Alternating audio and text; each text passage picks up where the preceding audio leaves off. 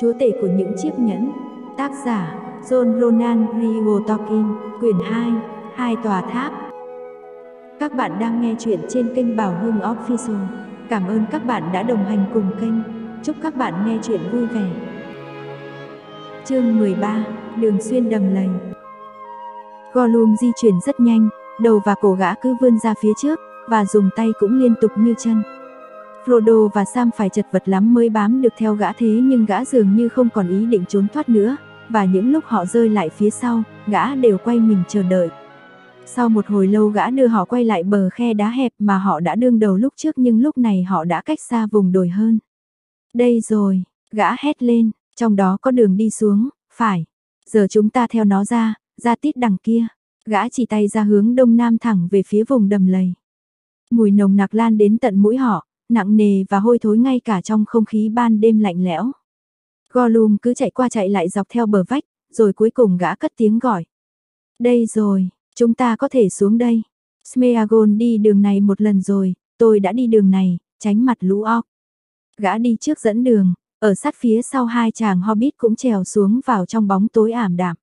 Việc đó chẳng khó khăn mấy, bởi khe đá ở điểm này chỉ sâu khoảng 15 bộ và rộng khoảng hơn 12 bộ. Có nước chảy dưới đáy, thực tế đây là lòng của một trong rất nhiều con sông nhỏ chảy xuống từ vùng đồi, tiếp nước cho những ao hồ và đầm vũng tù đọng dưới kia.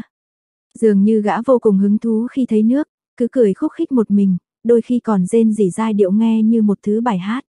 Vùng đất lạnh cứng, tay ta nó cắn, chân ta nó gặm, toàn đá sỏi trụi, như xương thùi lụi, dóc thịt nhẵn nhụi, nhưng sông hồ ướt, cho nhúng chân mát, thì ta yêu nhất, và giờ ta ước, ha, ha, Bọn ta ước gì? Gã vừa nói vừa nhìn sang phía hai chàng hobbit. Bọn ta sẽ nói, gã quàng quạc. Hắn đã đoán được từ lâu lắm rồi, bao gai đã đoán được. Một tia sáng lóe lên trong mắt gã, và trong đêm tối Sam khi thấy tia sáng đó nghĩ nó chẳng dễ chịu chút nào. Không thở vẫn sống, không khát vẫn uống, chưa chết mà lạnh như ma, mặc giáp mà êm như du, lên cạn chết ngộp, coi đảo là núi ngợp, coi suối là khí trời, láng bóng mê tơi, Gặp được thì sướng quá. Bọn ta chỉ ước, bắt được một con cá. Ngon lành nhiều nước, những lời lẽ đó chỉ khiến tâm trạng Sam thêm nặng nề về một vấn đề đã khiến chú bận tâm ngay từ giây phút nhận ra cậu chủ sẽ chấp nhận Gollum làm người dẫn đường, vấn đề thức ăn. Chú không nghĩ cậu chủ cũng đã tính đến chuyện đó, nhưng chú cho rằng Gollum thì có. Thực tế là Gollum đã ăn uống thế nào trong suốt chuyến lang thang đơn độc của gã. Không quá no đủ, Sam nghĩ. Gã trông đói giặc rồi, mình cuộc là gã không qua canh kiệu mà từ chối cơ hội nếm thử thịt hobbit nếu không có ca đấy là nếu gã có thể tóm cổ bọn mình trong lúc ngủ.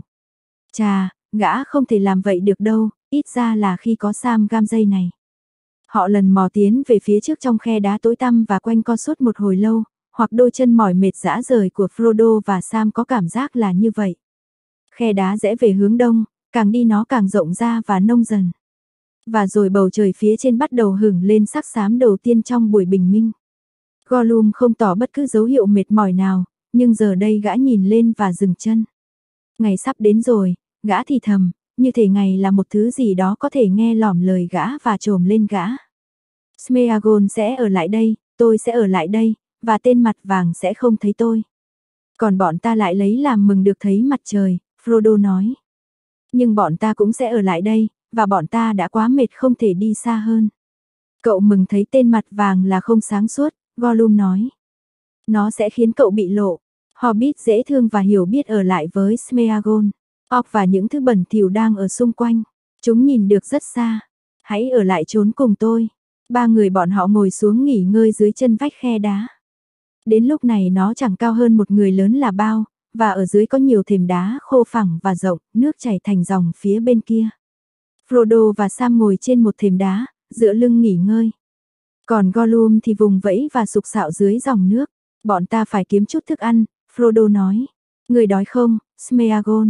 Bọn ta không có nhiều mà chia sẻ, nhưng bọn ta sẽ chia cho ngươi những gì có thể.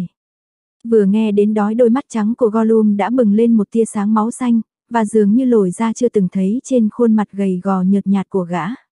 Trong chốc lát gã lại rơi vào kiểu cách Gollum trước đây. Bọn ta đói rồi, phải đói rồi, bảo bối à, gã nói. Họ ăn gì vậy, họ có cá ngon không? Lưỡi gã thè ra giữa hai hàm răng sắc bén và vàng sẫm, liếm liếm cặp môi không màu, Không, bọn ta không có cá, Frodo nói. Bọn ta chỉ có thứ này, cậu lấy ra một mẩu lem bass, và nước, nếu nước ở đây có thể uống được.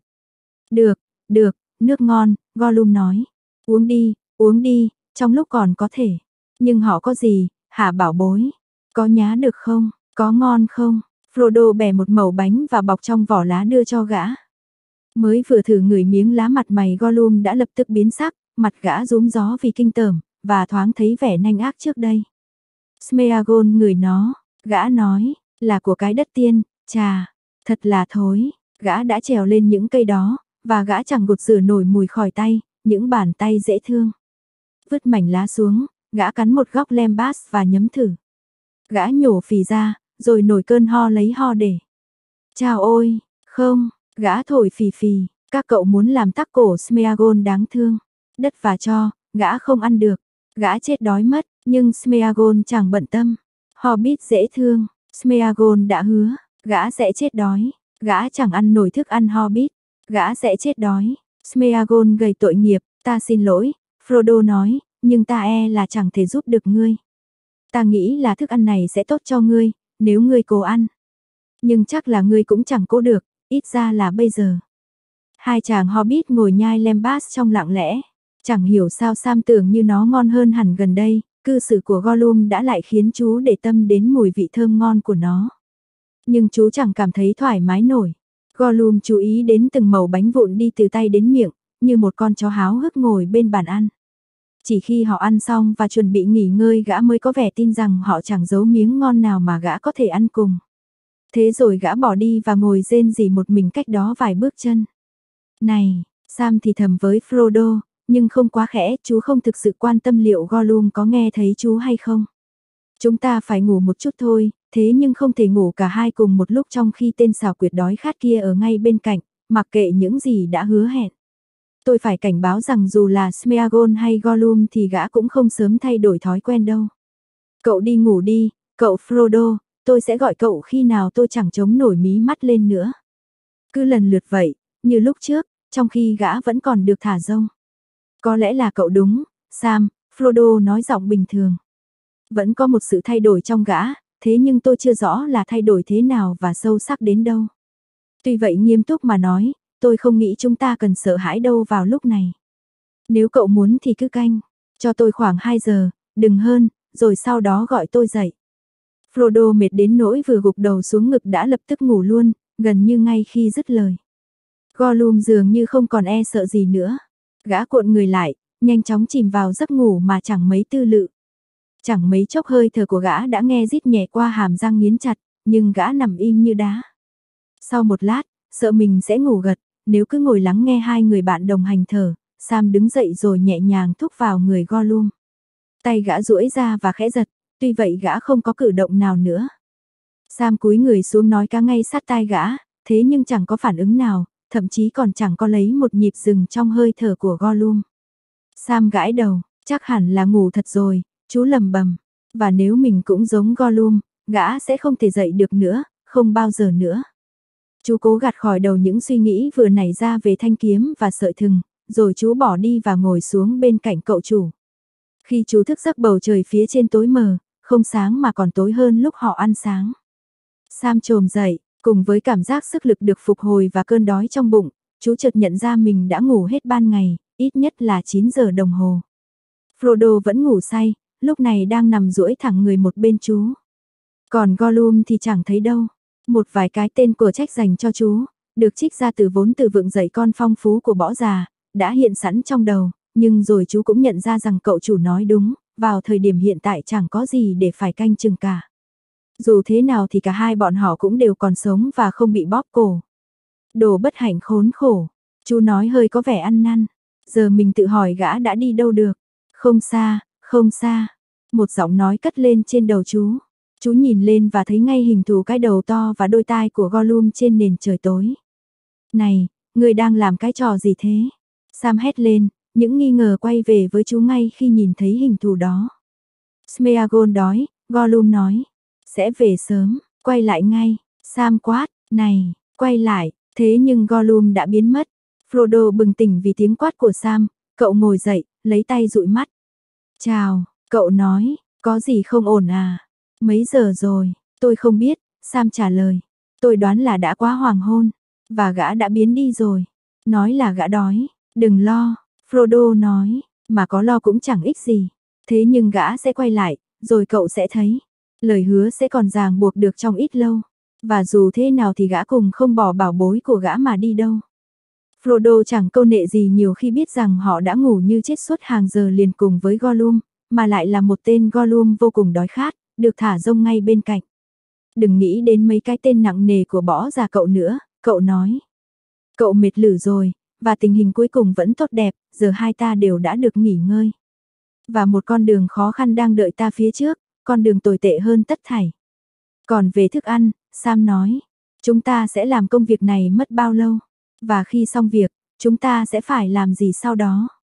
Thư bánh mì đi đường này giúp cậu vững chân một cách tuyệt vời, cho dù nó không thỏa mãn ruột già cho lắm, như cậu có thể nói, tôi có cảm giác như vậy, dù không hề có ý báng bổ những người làm ra nó. Thế nhưng cậu vẫn phải ăn mỗi ngày một chút, mà nó thì chẳng nở ra được. Tôi đoán rằng chúng ta có đủ để duy trì, xem nào, trong 3 tuần hoặc khoảng như vậy, và cậu nhớ cho là thời gian đó chúng ta vẫn phải thắt lưng buộc bụng. Chúng ta đã hơi thả cửa với nó từ bấy đến nay rồi. Tôi không biết còn bao lâu nữa chúng ta mới tới được tới được điểm kết thúc, Frodo nói. Chúng ta đã bị kẹt lại khổ sở ở vùng đồi. Nhưng Samwise Gamgee, chàng Hobbit thân mến của tôi Sam chàng Hobbit thân nhất của tôi, thực vậy, bạn tốt nhất trong những người bạn tôi không nghĩ chúng ta cần phải để tâm đến những gì sau đó đâu. Làm công việc này như cậu nói có hy vọng nào ta sẽ làm được hay không? Và nếu được, thì ai biết được kết quả ra sao? Nếu chiếc nhẫn chúa rơi vào ngọn lửa, còn chúng ta thì ở ngay sát đó. Tôi hỏi cậu, Sam, liệu chúng ta còn cần đến bánh mì nữa không? Tôi nghĩ là không, nếu chúng ta chăm sóc chân tay để chúng mang ta tới được đỉnh định mệnh thì đó chính là tất cả những gì chúng ta có thể làm rồi. Thậm chí tôi đã bắt đầu cảm thấy thế còn vượt qua những gì tôi có thể làm. Sam lặng lẽ gật đầu, chú nắm lấy tay cậu chủ và cúi xuống. Chú không hôn bàn tay, cho dù nước mắt rơi đầy trên nó. Rồi chú quay đi, quệt tay áo qua mũi, đoạn đứng dậy, dậm chân xung quanh, cố huyết sáo, và nói giữa những nỗ lực ấy cái con phải gió đó đâu rồi nhỉ. Thực tế là Gollum đã quay lại không lâu sau đó, nhưng gã đến lặng lẽ đến nỗi họ chẳng nghe thấy gì cho đến tận khi gã đứng ngay trước mặt họ. Ngón tay và khuôn mặt gã dính đầy bùn đen, gã vẫn còn đang nhai và chảy nước rãi. Họ chẳng hỏi và chẳng muốn tưởng tượng xem gã đang nhai gì. Sâu hoặc bọ hoặc thứ nhấp nháp nào đó dưới mấy cái hốc. Sam nghĩ, bia đồ bẩn thỉu, đồ khốn khổ tội nghiệp. Gollum chẳng nói gì với họ, cho đến khi gã uống cánh bụng và tắm táp xong xuôi dưới dòng nước. Rồi gã đến chỗ họ, liếm môi. Giờ tốt hơn rồi, gã nói. Chúng ta nghỉ xong rồi chứ? Sẵn sàng đi tiếp chưa? Họ biết dễ thương, họ ngủ thật dễ thương. Giờ tin Smeagol chưa? Tốt, rất tốt, chặng tiếp theo trong cuộc hành trình cũng gần giống như chặng trước đó. Họ càng đi khe đá càng trở nên nông hơn và độ dốc lòng khe cũng thoải hơn. Đáy khe ít đá đi và nhiều đất hơn, hai mặt bên cũng dần thấp xuống thành bờ. Đường khe bắt đầu vòng vèo uốn khúc, buổi đêm hôm đó dần tan, nhưng mây răng phủ kín cả mặt trăng lẫn những vì sao, họ chỉ biết ngày mới đang tới nhờ giải sáng mỏng màu xám đang chậm chậm lan tỏa. Họ đến được cuối dòng nước khi trời vẫn còn lạnh, hai bên bờ chỉ còn là những mô đất phủ rêu. Dòng nước ủng ục tràn qua thềm đá lở cuối cùng rồi đổ xuống mất dạng trong một đầm lầy màu nâu. Những đám sậy khô rít lên và cọ vào nhau xào sạc cho dù họ chẳng cảm thấy có gió. Giờ đây những bãi bùn lầy rộng lớn nằm khắp cả hai bên và phía trước, trải mãi về phía nam và phía đông vào sâu trong vùng ánh sáng mờ nhạt. Sương mù cuộn bốc lên từ những vũng nước tối tăm độc hại. Mùi hôi thối đọng lại ngột ngạt trong bầu không khí đặc quánh. Ở đằng xa, giờ đã gần như ở phía chính nam, bức tường núi Mordor vươn lên sừng sững, như một dải mây đen lởm chởm trôi trên mặt biển sương ẩn chứa đầy nguy hiểm. Hai chàng Hobbit giờ đều ở cả trong tay Gollum. Họ không biết, và không thể đoán biết trong ánh sáng mờ ảo đó, rằng thực tế họ mới chỉ ở mép phía bắc vùng đầm lầy, và vùng diện tích chủ yếu thì nằm về phía nam họ. Nếu hiểu biết về vùng đất này, có thể họ đã lùi ngược lại đường, chậm lại đôi chút, rồi hướng về phía đông, vòng theo những con đường đất cứng đến vùng đồng bằng Dagolat trống trải, bãi chiến trường của trận chiến năm xưa trước những cánh cổng Mordor. Tuy cũng chẳng phải có hy vọng lớn lao nào nếu theo đường ấy. Trên vùng đồng bằng giặt đá đó không hề có chỗ ẩn náu, và xuyên qua đồng còn có những con đường của lũ óc và quân lính của kẻ thù. Ngay cả áo choàng Lorien cũng chẳng mong che giấu được họ ở đó. Giờ chúng ta định hướng thế nào đây, Smeagol? Frodo hỏi, chúng ta phải lội qua những đầm lầy bốc mùi độc hại này ư? Không cần, hoàn toàn không cần, Gollum nói. Không cần nếu Hobbit muốn đến dãy núi tối và đi gặp hắn thật nhanh. Quay lại một chút, đi vòng một chút, cánh tay ra bọc xương của gã vẫy vẫy về phía đông bắc, là đến được đường lớn cứng lạnh dẫn ngay đến cổng lãnh địa của hắn. Rất nhiều người của hắn sẽ ở đó trông chừng khách khứa, sẵn lòng đưa họ đến thẳng chỗ hắn, ồ phải. Con mắt của hắn lúc nào cùng dõi theo đường đó. Nó tóm được Smeagol ở đó, lâu lắm rồi. Gollum dùng mình, nhưng kể từ đó Smeagol đã dùng mắt, phải, phải, tôi đã dùng mắt và chân và mũi kể từ đó. Tôi biết những đường khác, khó hơn, không nhanh lắm, nhưng tốt hơn, nếu chúng ta không muốn hắn thấy. Hãy theo Smeagol, gã có thể đưa các cậu qua đầm lầy, qua sương mù, sương mù dày đặc. Hãy theo Smeagol cẩn thận, rồi có thể các cậu sẽ đi được quãng đường dài, quãng đường khá dài đấy, trước khi hắn bắt được các cậu, phải, có lẽ vậy. Trời đã sang ngày, một buổi sáng không gió và ảm đạm, mùi đầm lầy hôi thối bao phủ khắp các bờ bãi rậm rạp. Mặt trời không xuyên qua được bầu trời phủ mây thấp, và Gollum dường như sốt sắng muốn tiếp tục cuộc hành trình ngay lập tức.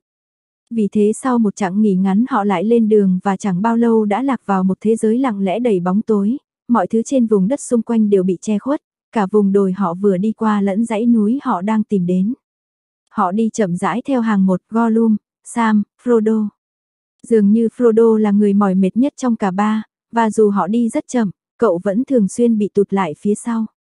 Hai chàng Hobbit sớm nhận ra rằng thứ trông giống như một đầm lầy mênh mông thực chất là một mạng lưới vô vàn những ao hồ, những vũng bùn nhão, và những dòng nước nửa tù hãm chảy vòng vèo. Giữa một vùng như vậy con mắt tinh tường và bàn chân khéo léo vẫn có thể tìm ra được một lối đi uốn khúc. Dĩ nhiên Gollum có được sự tinh tường và khéo léo đó, và đã phải vận dụng hết sức. Cái đầu trên cái cổ dài cứ xoay bên này rồi bên kia, trong khi gã liên tục khụt khịt và lầm bầm gì đó một mình. Đôi khi gã lại giơ tay báo hiệu dừng chân, trong lúc tiến lên đôi chút, cúi thấp người, lấy ngón tay hoặc ngón chân kiểm tra nền đất, hoặc chỉ đơn thuần áp một tai xuống mặt đất nghe ngóng. Hành trình thật ảm đạm và chán ngắt, mùa đông lạnh lẽo và ẩm ướt vẫn cai trị vùng đất bị bỏ rơi này. Màu xanh duy nhất nơi đây là lớp váng của những đám cỏ bầm tím trên mặt nước tối tăm và nhớp nháp trong những ao hồ ủ rũ. Cỏ chết và sậy thối dựng lên lùm lùm trong sương mù, trông như hình bóng tả tơi từ những mùa hè lãng quên từ lâu. Ngày trôi đi, ánh sáng hừng lên đôi chút, sương mù cũng bắt đầu tan, loãng và trong dần. Xa tít bên trên cảnh thối giữa và ẩm thấp của thế giới, mặt trời đang vươn lên cao và giờ đã tỏa nắng vàng khắp xứ sở thanh bình, mà nền là những thềm bọt trắng lóa mắt, thế nhưng ở bên dưới, họ chỉ có thể thấy thoáng qua bóng ma của bà, mờ ảo, nhợt nhạt không màu sắc và cũng chẳng ấm áp. Tuy vậy ngay cả lời nhắc nhở nhẹ nhàng về sự hiện diện của bà cũng khiến Gollum cao có và rụt lại. Gã dừng cuộc hành trình, và họ nghỉ ngơi, ngồi xổm như những con vật nhỏ bé bị săn đuổi, tại rìa một đám sậy nâu khổng lồ. Trùm xuống họ là một bầu im lặng thăm thẳm, chỉ có tiếng xào sạc gây ra bởi cơn dùng mình khe khẽ của những bông sậy sơ xác, và những lá cỏ gãy run rẩy trong những làn khí nhẹ mà họ chẳng hề cảm thấy.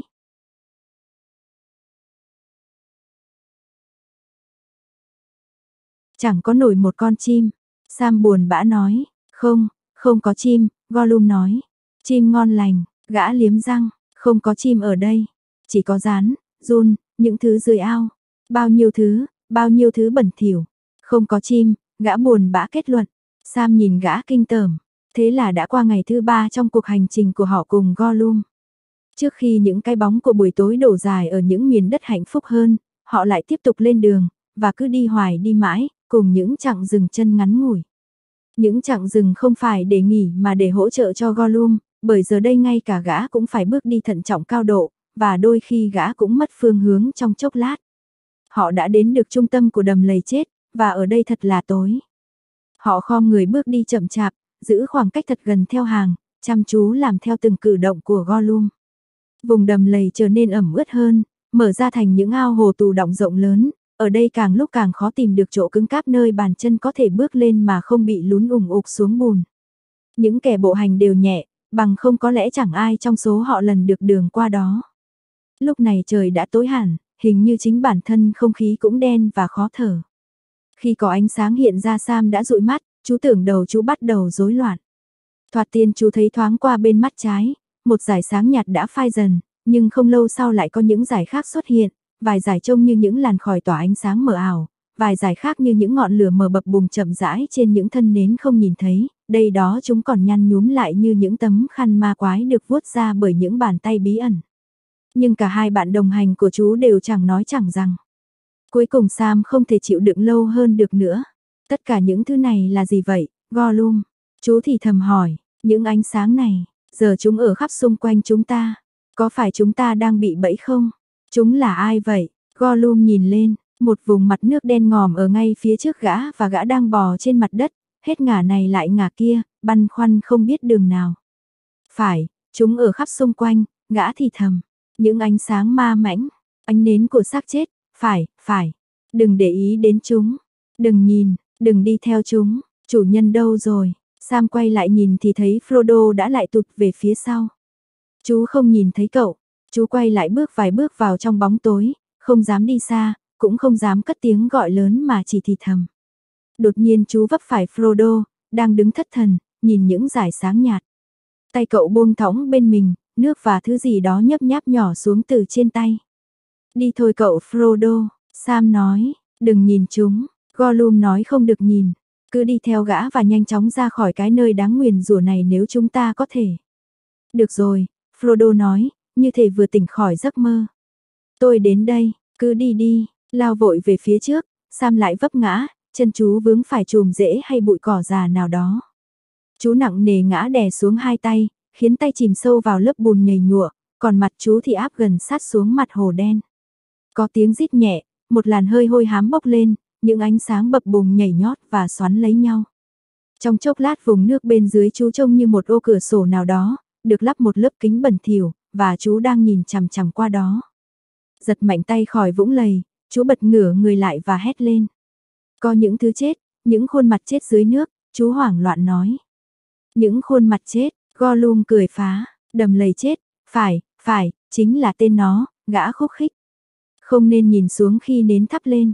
Chúng là ai? Chúng là gì vậy? Sam dùng mình hỏi, chú quay về phía Frodo, giờ đã ở ngay phía sau chú. Tôi không biết, Frodo trả lời bằng giọng mơ màng, nhưng tôi cũng nhận thấy họ. Dưới mặt ao lúc nến được thắp lên, tất cả họ đều nằm dưới ao, những khuôn mặt trắng nhợt, tít sâu dưới làn nước tối. Tôi thấy họ, những khuôn mặt dữ dằn và tàn ác, cả những khuôn mặt cao quý và buồn bã. Rất nhiều khuôn mặt trông kiêu hãnh và đẹp đẽ, cỏ vương đầy mái tóc bạc. Nhưng tất cả đều hôi thối, tất cả đều mục giữa, tất cả đều đã chết. Bên trong họ có thứ ánh sáng thật khủng khiếp. Frodo lấy tay che mắt lại. Tôi không biết họ là ai, nhưng tôi nghĩ mình đã thấy có con người và người tiên ở đó và cả óc bên cạnh họ nữa. Phải, phải, Gollum nói. Chết cả, thối giữa cả. Tiên, con người, óc, đầm lầy chết, một trận đại chiến cách đây lâu lắm rồi. Phải, người ta đã kể như vậy cho Smeagol nghe khi gã còn trẻ, khi tôi còn trẻ, trước khi bảo bối đến. Đó là một trận đại chiến, con người lớn cao cầm kiếm dài, cả tiên ghê gớm, và óc gào thét. Họ chiến đấu trên đồng bằng suốt ngày suốt tháng trước cổng đen. Nhưng đầm lầy đã dâng lên kể từ đó, nuốt lấy những nấm mồ, và ăn dần, ăn mòn. Nhưng chuyện đó đã cách đây cả một kỷ nguyên hoặc hơn thế nữa rồi, Sam nói. Người chết không thể thực sự ở đó được, có phải đây là quỷ thuật nào đó được sinh ra ở vùng đất tối không? Ai biết được, Smeagol không biết, Gollum trả lời. Không thể với tới họ, không thể chạm vào họ. Bọn ta từng thử rồi, phải, bảo bối à. Tôi từng thử rồi, nhưng không thể với tới họ. Có lẽ chỉ là hình thù nhìn thấy được, chứ không chạm vào được. Không đâu bảo bối à. Chết hết rồi. Sam nhìn gã đầy u tối và lại dùng mình, nghĩ rằng chú đã đoán ra tại sao Smeagol lại muốn chạm vào họ. Hừ, tôi không muốn thấy chúng, chú nói. Không bao giờ nữa, Chúng ta không thể đi tiếp và đi khỏi đây sao? Phải, phải, Gollum nói. Nhưng chậm thôi, thật chậm thôi. Thật cẩn thận nữa, không thì Hobbit sẽ xuống cùng người chết và thắp những ngọn nến tí hon đấy. Hãy theo Smeagol, đừng nhìn vào ánh sáng. Gã bỏ sang bên phải, tìm con đường đi vòng qua hồ. Họ khom người theo sát phía sau, thường xuyên phải dùng tay như chính gã. Nếu chuyện này tiếp diễn lâu nữa, chúng ta sẽ trở thành ba tên bảo bối Gollum nhỏ bé, Sam nghĩ. Rốt cục họ cũng đến được điểm cuối của mặt hồ đen đúa, và họ mạo hiểm vượt qua đó, bò hoặc nhảy từ nấm cỏ nổi xảo trá này sang nấm khác. Họ thường xuyên loạn choạng, dẫm phải hoặc ngã chống tay xuống làn nước hôi thối như hầm chất thải, cho đến lúc cả ba đều nhấp nhúa, bốc mùi lên tận cổ và hành hạ lỗ mũi nhau. Khi họ lại đặt được chân lên nền đất cứng thì đã quá nửa đêm. Gollum rít xì xì và thì thầm gì đó một mình, nhưng trông gã lại có vẻ hài lòng, bằng cách thức bí ẩn nào đó, tổng hợp cảm nhận và mùi vị, và trí nhớ phi thường về hình dạng trong bóng tối, gã dường như đã lại biết mình đang ở chỗ nào, và tỏ ra chắc chắn vào con đường phía trước. Giờ chúng ta đi tiếp, gã nói, Hobbit dễ thương, Hobbit can đảm, dĩ nhiên là rất rất mệt rồi, bọn ta cũng vậy, báo bối à, tất cả bọn ta. Nhưng bọn ta phải đưa chủ nhân ra khỏi ánh sáng xấu xa, phải, phải, đúng vậy. Vừa dứt lời gã lại tiếp tục lên đường, gần như chạy, xuống nơi có vẻ là một lối đi nhỏ và dài giữa những đám sậy, và họ lật đật bám theo gã nhanh hết sức. Nhưng chỉ một lát sau gã chợt dừng lại mà hít người bầu không khí một cách băn khoăn, và còn rít lên như thể gã lại gặp rắc rối và bực mình. Cái gì vậy? Sam gầm gừ, chú đã hiểu sai hành động của gã. Cần gì phải khụt khịt chứ? Mùi thối gần như hạ gục ta ngay cả khi đang bịt mũi. Người thối và cậu chủ cũng thối, cả vùng này đều thối. Phải, phải, và Sam cũng thối. Gollum trả lời, Smeagol tội nghiệp người thấy, nhưng Smeagol tốt chịu đựng, giúp chủ nhân dễ thương. Nhưng không phải chuyện đấy. Không khí đang thổi, thay đổi đang tới. Smeagol đang thắc mắc, gã không vui đâu. Gã lại tiếp tục đi, nhưng sự bất an của gã ngày càng dâng cao, đôi lúc gã đứng thẳng dậy hết cỡ, cổ nghỉnh hết về phía đông lại về phía nam. Mất một lúc hai chàng hobbit không thể nghe thấy hay cảm nhận được điều gì đang làm phiền gã. Nhưng rồi cả ba bất chợt dừng lại, cứng người nghe ngóng. Đối với Frodo và Sam dường như họ vừa nghe thấy, từ tít đằng xa, một chàng thét dài rền rĩ, vừa cao vừa the thế lại vừa ác nghiệt. Họ dùng mình, cùng lúc đó họ cảm nhận được bầu không khí đang chuyển động, và nó trở nên vô cùng lạnh lẽo. Trong lúc vẫn còn đứng căng tai ra, họ nghe thấy tiếng ồn ào như có cơn gió đang thổi đến từ phía xa. Những dải sáng mở ảo uốn éo, phai nhạt dần, rồi biến mất. Gollum không động đậy, gã đứng run rẩy và lắp bắp một mình, cho đến khi cơn gió thổi ào về phía họ, gào rú và gầm gừ khắp vùng đầm lầy. Đêm đã bớt tối hơn, đủ sáng cho họ nhìn thấy, hay lờ mờ thấy, những dải xương không hình không dạng đang trôi giạt, cuộn tròn và xoắn suýt vào nhau khi chúng tạt vào rồi trôi qua họ. Nhìn lên trên, họ thấy mây đang bị xé vụn và tan tác, và rồi ở cao tít về phía nam mặt trăng ló ra, cưỡi trên tầng mây giạt bồng bềnh. Trong chốc lát sự hiện diện của vầng trăng làm bừng sáng trái tim hai chàng hobbit, nhưng Gollum lại nằm rúc xuống lầm bầm chửi bới tên mặt trắng. Rồi Frodo và Sam nhìn chăm chú lên bầu trời, hít thật sâu bầu không khí đã trở nên tươi mát hơn, và nhìn thấy thứ đó đang đến, một đám mây nhỏ bay ra từ vùng đồi đắng nguyền rủa, một bóng đen thoát ra từ phía Mordor, một hình thù khổng lồ có cánh mang theo điểm xấu. Nó lướt nhanh qua mặt trăng, và với một tiếng thét chết chóc hướng về phía tây, vượt cả cơn gió với tốc độ khủng khiếp. Họ ngã rúi về phía trước, nằm sóng xoài không buồn che chắn trên mặt đất lạnh. Thế nhưng bóng tối kinh hoàng kia lượn vòng quay lại, và giờ xà xuống thấp hơn, ngay ở phía trên họ, quét bạt mùi hôi đầm lầy dưới đôi cánh khủng khiếp. Và rồi nó biến mất, bay trở lại Mordor nhanh như cơn thịnh nộ của Sauron, phía sau nó cơn gió gầm rú cuộn đi, bỏ lại đầm lầy chết trơ trụi và trống trải. Cả một vùng hoang dã trần trụi, mà con mắt có thể dõi đến hết tầm, đến tận dãy núi xa xôi đe dọa, thảy đều loang lổ ánh trăng chập chờn. Frodo và Sam đứng dậy, dụi mắt, như những đứa trẻ vừa thức tỉnh khỏi cơn ác mộng và nhận ra buổi đêm quen thuộc vẫn bao phủ thế giới. Nhưng Gollum thì nằm dưới đất cứ như đã bất tỉnh. Họ bắt gã dậy một cách khó nhọc, và mãi một lúc gã không chịu ngẩng mặt lên, cứ chống khuỷu tay quỳ xuống, che gáy bằng đôi bàn tay rộng và dẹt. Hồn ma, gã khóc lóc, hồn ma có cánh, bảo bối là chủ nhân chúng.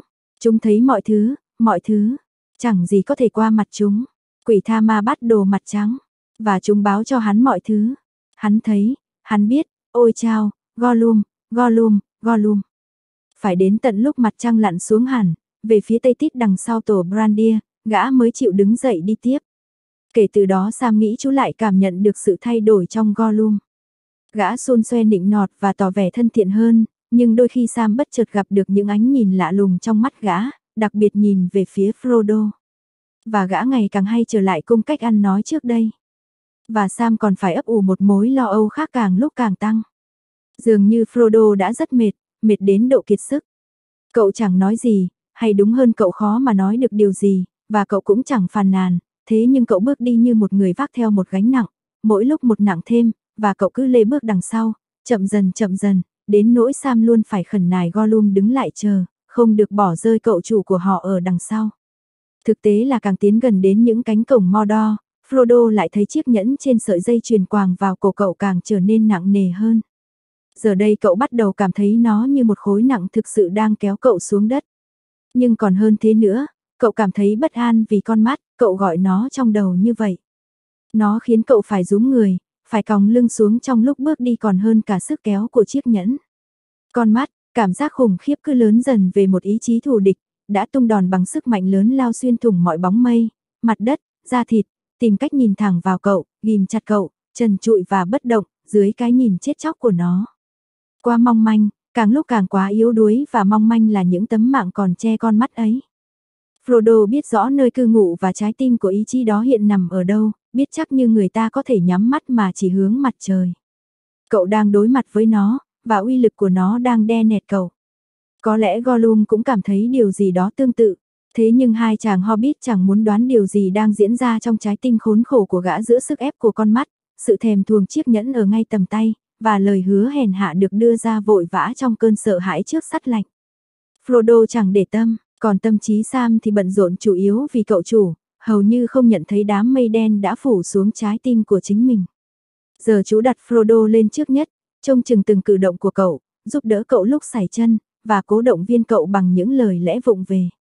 Khi rốt cục một buổi sáng nữa lại đến, hai chàng Hobbit mới ngạc nhiên thấy dãy núi đáng sợ đã tiến lại gần biết bao. Bầu không khí giờ thoáng đãng và lạnh hơn, và dù vẫn còn ở tít xa, song những bức tường mo đo không còn là mối đe dọa mờ mịt ở phía cuối tầm nhìn nữa, mà như những tòa tháp giữ dằn lù lù bên kia vùng đất hoang vắng và ảm đạm. Vùng đầm lầy đã đến điểm kết thúc, nó biến mất vào những bãi than bùn chết chóc và những bãi rộng toàn bùn khô nứt nẻ. Vùng đất phía trước vươn lên thành những triền dốc dài thoai thoải, cằn cỗi và khắc nghiệt, dẫn về hoang mạc trước cổng Soren. Trong khi ánh sáng mờ xám vẫn còn vương vấn, họ núp mình dưới một tảng đá đen như những con run đang trùn thân lại, sợ rằng nỗi khủng khiếp có cánh có thể bay qua và theo dõi họ bằng những con mắt độc ác. Phần còn lại của cuộc hành trình chỉ là bóng đen nỗi sợ hãi mỗi lúc một lớn thêm, khiến ký ức chẳng tìm được chỗ nào bấu víu. Họ gắng đi thêm hai đêm nữa qua vùng đất chán trường chẳng có lấy một lối đi ấy. Họ cảm thấy bầu không khí dường như trở nên quá khắc nghiệt, và nồng nặc một mùi đắng ngắt khiến họ ngạt thở còn miệng thì khô khốc. Rốt cục, vào buổi sáng thứ năm kể từ khi lên đường cùng Gollum, họ lại dừng chân lần nữa. Trước mặt họ, tối sầm trên nền bình minh, dãy núi sừng sững vươn đến tận trần mây khói. Từ dưới chân trải ra những dải núi ngang khổng lồ và những ngọn đồi nhấp nhô, mà ngọn gần nhất giờ chỉ còn cách họ khoảng trên chục dặm. Frodo khiếp hãi nhìn quanh, đầm lầy chết đáng sợ là vậy, tràng đất trên miền vô chủ khô cằn là vậy, nhưng vùng đất mà buổi sáng Lê Thê đang dần mở ra trước đôi mắt đang nheo lại của cậu còn ghê tởm hơn nhiều. Ngay cả ở hồ mặt chết chắc hẳn vẫn có bóng ma hốc hác nào đó của xuân xanh ghé đến, còn ở đây sẽ chẳng có mùa xuân hay mùa hạ nào còn quay lại. Ở đây chẳng thứ gì sống được, kể cả những sinh vật hùi lậu sống nhờ mục ruỗng. Những hồ ao ngoác miệng bị bóp nghẹt bởi cho bụi và bùn lầy lúc nhúc, một màu trắng xám bệnh hoạn, như thể dãy núi đã nôn những cặn bã trong ruột nó ra khắp xung quanh. Những đống đá vụn vỡ hoặc bị nghiền nát như bột chất cao, những gò đất lớn khô cháy và với độc, đứng như một bãi tha ma tầm lợm thành những hàng bất tận, từ từ lộ ra trong ánh sáng miễn cưỡng. Họ đã tới vùng điêu tàn nằm trước mặt Mordor, bãi tưởng niệm vĩnh cửu thứ lao khổ tăm tối của những nô lệ, sẽ còn trường tồn khi tất cả mục đích làm ra chúng đều đã hóa thành vô dụng, vùng đất nhấp nhúa, bệnh hoạn không thể chữa lành được nữa trừ khi đại dương tràn vào gột sạch nó bằng sự lãng quên. Tôi thấy muốn nôn, Sam nói. Còn Frodo thì chẳng nói gì. Họ đứng đó suốt một lúc, như những người ở bên rìa giấc ngủ nơi có cơn ác mộng đang ẩn nấp, cố ngăn nó lại gần, cho dù họ biết chỉ có thể đến được buổi sáng bằng cách vượt qua đêm tối. Ánh sáng lan ra và mạnh dần, những miệng hố thao láo và những gò đống độc hại trở nên rõ ràng một cách gớm ghiếc. Mặt trời đã lên, thả bộ giữa những đám mây và những vệt khói dài, nhưng ngay cả ánh nắng cũng bị vấy bẩn. Hai chàng Hobbit không muốn đón chào thứ ánh sáng đó, nó chẳng hề có vẻ thân thiện, nó phơi họ ra trong sự bất lực như những bóng ma nhỏ bé và nhắng nhít lang thang giữa những đống cho tàn của chúa tể hắc ám. Quá mệt mỏi không thể đi tiếp, họ đành tìm một chỗ nghỉ ngơi. Suốt một lúc lâu họ ngồi chẳng nói chẳng rằng dưới bóng một đống xỉ, nhưng vẫn có những làn hơi hôi thối dì ra từ đó, chộp lấy và bóp nghẹt cổ họng họ. Gollum đứng dậy đầu tiên, vừa đứng dậy vừa thở phì phì và chửi bới, rồi chẳng thèm nói lấy một lời hay nhìn hai chàng hobbit, gã bò đi bằng cả tứ chi. Frodo và Sam bò theo gã cho đến khi họ đến được một miệng hố rộng gần như hình tròn, bờ vách phía tây dựng cao. Nó lạnh lẽo và chết chóc, dưới đáy là một hầm hôi thối nhầy nhụa chứa đầy một thứ bùn nhiều màu. Họ co người nấp trong cái hố độc địa này, hy vọng bóng nó sẽ che khuất được sự chú ý của con mắt. Ngày hôm đó chậm chậm trôi đi, cơn khát cồn cào làm khổ họ, nhưng họ chỉ uống vài giọt trong bình nước mang theo lần tiếp nước gần nhất là lúc còn ở khe đá, mà giờ đây nghĩ lại họ cảm thấy là một nơi thật thanh bình và đẹp đẽ. Hai chàng hobbit thay phiên nhau canh gác, ban đầu dù rất mệt, chẳng ai ngủ được một chút nào, thế nhưng khi mặt trời ở tít đằng xa lặn xuống sau một đám mây trôi chậm rãi, Sam bắt đầu mơ màng. Lúc đó đang là phiên gác của Frodo, cậu nằm dựa lưng lên vách hố dốc, song chẳng vì thế mà nhẹ đi cảm giác về gánh nặng đang chất lên cậu. Cậu nhìn lên bầu trời chẳng chịt vệt khói và thấy những bóng ma lạ lùng, những hình thù cưỡi ngựa tối tăm, những khuôn mặt từ quá khứ. Cậu lạc mất khái niệm về thời gian, cứ lơ lửng giữa ngủ và thức, cho đến khi sự quên lãng chiếm lấy cậu. Sao sao sao, đột nhiên Sam choàng tỉnh vì tưởng nghe thấy tiếng gọi của cậu chủ. Khi đó đã là buổi tối, chẳng thể là Frodo gọi, bởi cậu đã chìm vào giấc ngủ, và trượt xuống gần đáy hố. Gollum đang ở bên cậu, trong giây lát Sam nghĩ gã đang cố đánh thức cậu, nhưng rồi chú thấy không phải vậy. Gollum đang nói chuyện một mình. Smeagol đang tranh cãi với một luồng suy nghĩ khác sử dụng cùng giọng nói nhưng chói tai và liên tục rít xì xì. Một tia sáng trắng nhạt và một tia sáng xanh thay phiên bừng lên trong mắt mỗi lần gã cất lời. Smeagol đã hứa, luồng suy nghĩ đầu tiên nói. Phải, phải, bảo bối à, câu trả lời cất lên, bọn ta đã hứa, bảo vệ bảo bối của bọn ta, không để hắn có được không bao giờ. Nhưng nó đang tiến đến gần hắn, phải, gần hơn từng bước. Bọn ta không hiểu tên Hobbit định làm gì với nó, phải bọn ta không hiểu. Tôi không biết, tôi chẳng có cách nào khác. Chủ nhân giữ nó, Smeagol đã hứa sẽ giúp chủ nhân. Phải, phải, giúp chủ nhân, chủ nhân của bảo bối. Nhưng nếu bọn ta là chủ nhân, bọn ta có thể giúp chính mình, phải, và vẫn giữ lời hứa. Nhưng Smeagol đã nói gã sẽ rất rất tốt. Hobbit dễ thương, người lấy thường ác ra khỏi chân Smeagol. Người nói năng dễ thương với tôi. Rất rất tốt sơ sao, hả bảo bối. Hãy cứ tốt, tốt như cá, mình à, nhưng tốt với bọn ta thôi. Không làm đau Hobbit dễ thương, dĩ nhiên rồi, không, không đâu. Nhưng bảo bối ràng buộc lời hứa, giọng Smeagol phản đối. Vậy thì hãy lấy nó, giọng kia nói, và tự bọn ta ràng buộc. Và bọn ta sẽ là chủ nhân, Gollum. Bắt tên Hobbit kia, tên Hobbit đang nghi bẩn thỉu, bắt hắn bỏ lết, phải rồi, Gollum. Nhưng không làm gì Hobbit dễ thương chứ. Ồ không, không cần nếu không làm bọn ta vui. Nhưng vẫn là một tên bao gai, bảo bối à, phải một tên bao gai. Một bao gai đã ăn trộm nó. Hắn tìm được nó mà chẳng nói gì hết, chẳng nói gì. Bọn ta ghét lũ bao gai. Không, không phải bao gai này. Có, bao gai nào cũng thế. Tất cả những đứa giữ bảo bối. Bọn ta phải có nó. Nhưng hắn sẽ thấy, hắn sẽ biết, hắn sẽ lấy nó khỏi bọn ta. Hắn thấy, hắn biết, hắn đã nghe chúng ta hứa hẹn ngu xuẩn chống lại mệnh lệnh của hắn, phải rồi.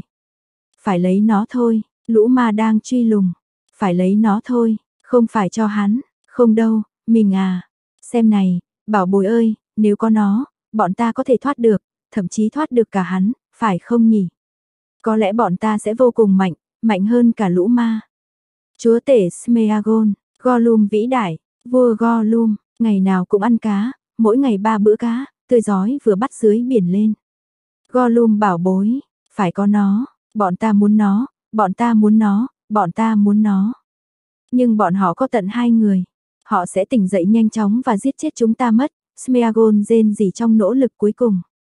Không phải lúc này, chưa được đâu, bọn ta muốn nó, nhưng, đến đây có một khoảng ngập ngừng khá lâu, như thể có luồng suy nghĩ vừa mới lóe lên. Chưa hả, có lẽ vậy, Mụ sẽ giúp một tay. Mụ sẽ giúp, phải. Không, Không, đường đó không được, Smeagol ré lên, được, bọn ta muốn nó, bọn ta muốn nó. Mỗi lần luồng suy nghĩ thứ hai cất lời, cánh tay dài của Gollum lại từ từ lần ra, mò mẫm về phía Frodo, và rồi thình lình thu về khi Smeagol lại lên tiếng. Cuối cùng thì cả hai tay, với những ngón dài cong lên và co giật liên hồi, đã vươn về phía cổ cậu. Sam nằm im, bị mê hoặc bởi cuộc tranh cãi, thế nhưng vẫn dõi theo từng cử động của Gollum từ dưới đôi mi nhắm hờ. Đối với suy nghĩ đơn giản của chú trước giờ, mối nguy chủ yếu từ phía Gollum chỉ là cơn đói xôi gã ăn thịt người Hobbit. Nhưng giờ chú nhận ra rằng không phải như vậy, Gollum cũng chịu đựng sức lôi cuốn khủng khiếp của chiếc nhẫn. Dĩ nhiên chúa tể hắc ám là hắn, nhưng Sam tự hỏi mụ là ai? Chú đoán rằng đó là một trong số những bạn bè bẩn thỉu mà tên đáng thương kia đã làm quen trên quãng đường lang thang của gã. Rồi chú quên mất vấn đề, bởi dành dành mọi thứ đã đi quá xa, và đang trở nên nguy hiểm. Một sức nặng lớn lao đè lên cả tay lẫn chân đánh thức chú, nhưng chú vẫn gắng tự đánh thức mình và ngồi dậy. Có điều gì đó cảnh báo chú hãy cẩn thận đừng để lộ mình đã nghe được cuộc tranh cãi. Chú cố tình thở một tiếng thật to và ngáp một cái thật lớn. Mấy giờ rồi, chú nói giọng ngái ngủ. Gollum rít lên một tiếng dài qua kẽ răng. Gã đứng lên trong chốc lát, căng thẳng và đầy vẻ ham dọa, nhưng rồi gã lại sụp xuống, đổ người lên cả chân lẫn tay và bò lên bờ hố. Hobbit dễ thương, Sam dễ thương, gã nói, những con sâu ngủ, phải, những con sâu ngủ, để mặc Smeagol tốt canh gác, nhưng tối rồi, bóng đêm đang len lỏi, đến lúc đi thôi, qua đến lúc ấy chứ. Sam nghĩ bụng, và cũng đến lúc chúng ta chia tay thôi. Xong trong đầu chú lại lóe lên thắc mắc đằng nào mới là nguy hiểm hơn, thả Gollum đi hay giữ gã lại bên họ. Quỷ tha ma bắt gã đi, ước gì mình được bóp cổ gã. Chú lẩm bẩm, chú loạn choạng đi xuống bờ hố đánh thức cậu chủ. Thật kỳ lạ là Frodo đã cảm thấy khỏe lại. Cậu đã ngủ mơ, bóng đen đã trôi đi, và một hình ảnh đẹp đẽ vừa đến với cậu trong vùng đất bệnh hoạn này. Chẳng còn gì lưu lại trong ký ức của cậu về nó nữa, song cũng nhờ nó mà cậu cảm thấy vui mừng và nhẹ nhõm trong tim hơn. Gánh nặng của cậu đã bớt đè nặng lên cậu. Gollum mừng rỡ chào đón cậu như một con chó nhà. Gã cười khúc khích và nói luôn mồm, bẻ những ngón tay dài quờ quờ vào đầu gối Frodo. Frodo mỉm cười với gã. Đi thôi, cậu nói, người đã dẫn bọn ta rất giỏi và tận tâm. Đây là đoạn đường cuối cùng rồi. Hãy đưa bọn ta đến cổng rồi sau đó ta sẽ không đòi hỏi thêm nữa đâu. Hãy đưa bọn ta đến cổng, rồi ngươi có thể đi đâu tùy ngươi chỉ đừng đến với kẻ thù của bọn ta là được. Đến cổng hả? Gollum ré lên, có vẻ kinh ngạc và hoảng sợ. Đến cổng, chủ nhân nói vậy đấy. Phải, người nói vậy. Và Smeagol tốt làm theo những gì người nói, ô phải rồi. Nhưng khi đến gần, có lẽ chúng ta sẽ thấy, chúng ta sẽ thấy. Nó không hay ho chút nào cả đâu. Ô không, ô không, đi đi nào, Sam nói, cố mà chịu đựng đi.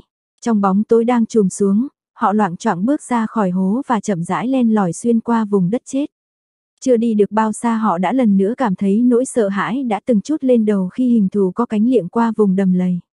Họ dừng chân, dạp người xuống mặt đất nặng mùi, thế nhưng họ chẳng nhìn thấy gì trên bầu trời tối tăm ảm đạm phía trên, và mối đe dọa rồi cũng sớm bay qua, ở tít phía trên cao, có lẽ là để thực hiện một công chuyện chớp nhoáng nào đó của Barad-dûr. Một lát sau Gollum đứng dậy và lại lần mò về phía trước, vừa cào nhau vừa run rẩy. Khoảng một giờ sau nửa đêm nỗi sợ hãi lại chút lên họ lần thứ ba, nhưng lần này dường như xa xôi hơn, như thể đang bay qua ở mãi tít trên cao những đám mây, lao đi với tốc độ khủng khiếp về đằng Tây. Tuy nhiên Gollum thì khiếp sợ đến khổ sở, và đinh ninh rằng họ đang bị săn lùng, rằng cuộc hành trình của họ đã bị phát hiện. Ba lần liền, gã rên rỉ, ba lần là đe dọa rồi đấy. Chúng cảm thấy ta ở đây, chúng cảm thấy bảo bối. Bảo bối là chủ nhân của chúng. Chúng ta không đi tiếp đường này được nữa, không. Vô ích thôi, vô ích, cầu xin và nói ngọt không còn hiệu quả chút nào nữa. Phải đến tận khi Frodo tức giận ra lệnh cho gã và đặt tay lên chuôi kiếm gã mới chịu đứng lên. Rồi gã vùng vằng lên đường, đi phía trước họ như con chó vừa bị đánh. Họ cứ thế loạn trọng xuyên qua bụi tàn đêm đầy mệt nhọc, bước đi trong im lặng, đầu cúi thấp, chẳng nhìn thấy gì, chẳng nghe thấy gì ngoài tiếng gió rít bên tai, cho đến tận khi bắt đầu một ngày mới đầy sợ hãi.